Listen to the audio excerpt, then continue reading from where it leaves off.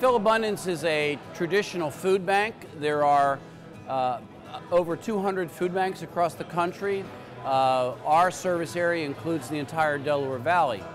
Um, so a nonprofit supermarket is really a entirely different direction for us.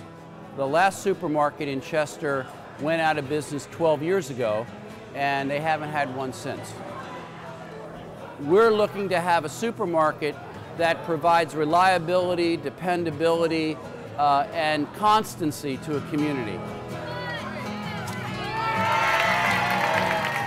Today I'm excited about the opening of Fare & Square. We waited uh, for a while to have a market of this type in our city, as you know. And what I'm happy about is that we're holding the distinction of the first of its kind in the nation. So we really appreciate that. The, the second most important thing is the jobs uh, that contributes to the economic development for our city. 82% uh, of the people working here are from the city of Chester. And we had 44 people go through the training, which in and of itself was a revitalization for the city uh, in its belief that someone cares about us and that we're on the road to recovery here, and this is significant and, and signature in, in, as far as that's concerned. So we appreciate it.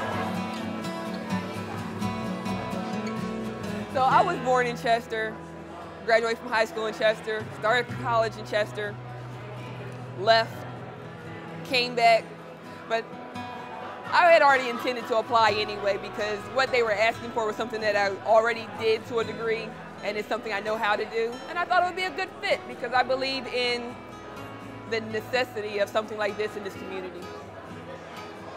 My gig with the grocery store is membership. So we've been out there talking to, talking with, explaining the whole entire concept about the store and getting people to sign up. But there's been at least 4,700 people so far that have seen it as a good thing.